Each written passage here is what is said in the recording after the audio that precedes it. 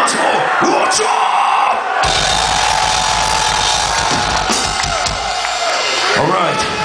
so we are decapitated. The This song is called Fucking